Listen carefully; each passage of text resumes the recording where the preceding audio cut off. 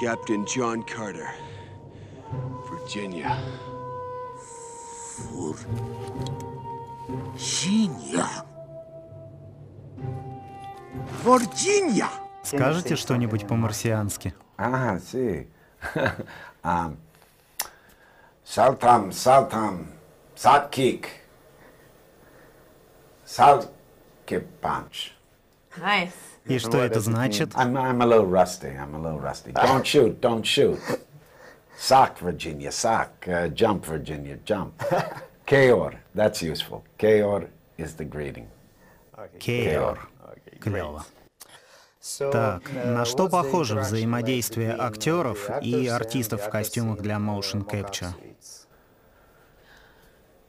I personally um, would look at them and be like uh, Uh, completely astounded with their dedication, their focus, their commitment. Um, it was incredibly difficult, I think, for them in most of the environments we were in. It was either cold or hot, or there was always something going on that could distract from what they were trying to do. The, the really interesting thing about this is they were integrated. We were just actors. We had different obstacles, we had different technical obligations, but we were playing the scenes together. It, it isn't as people imagine that they're separated out. We were playing scenes just like you would in a regular, scene, in a regular movie. Лин, я знаю, вы тренировались боям на мечах, но вы же еще и диснеевской принцессой стали. Был ли у вас тренинг для принцесс какой-нибудь, изучение кодекса Дисней? Ariel from The Little Mermaid. That was my princess coach.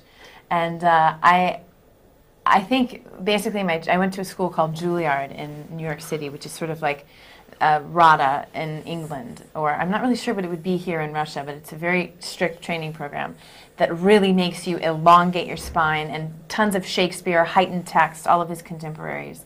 And that's really what helped me enter into this character. You are on Barsoom, John Carter.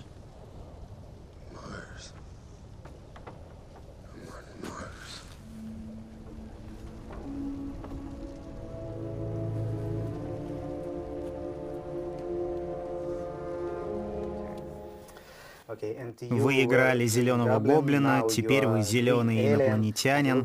Похоже, вы умеете выбирать, что покруче. Расскажите, что же вас в них привлекает?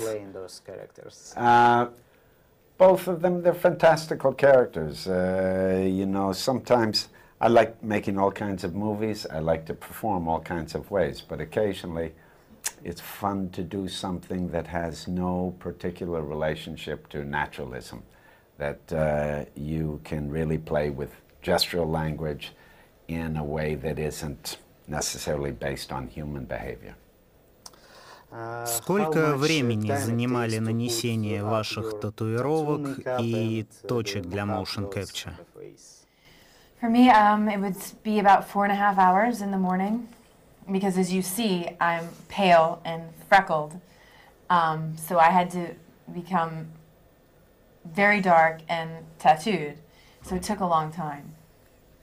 For me, very little preparation. I just had to step, uh, put on these mocap pajamas and put on a corset that would hold a battery pack, put a helmet on that had uh, a camera in it, and put dots on my face as references for the uh, animators.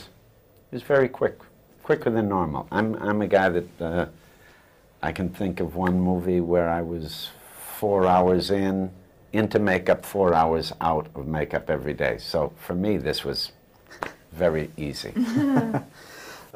И последний вопрос. Если продолжению дадут зеленый свет, опять зеленый, какое развитие ваших героев вы бы хотели увидеть?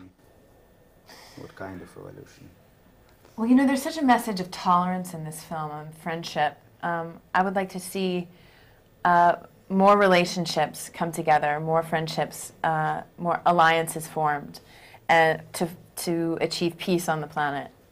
It goes deeper. Uh, in the in subsequent books, the relationship between Tars Tarkas and Dejah and John goes much deeper. This is just the introduction for for uh, Tars Tarkas of who he is to these people. In much way, it's the introduction to all of these characters, like uh, as if this was a TV series. Well, this is the pilot, and now we're waiting for the rest of the series.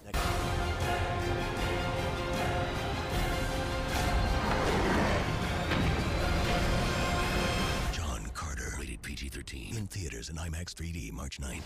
Go to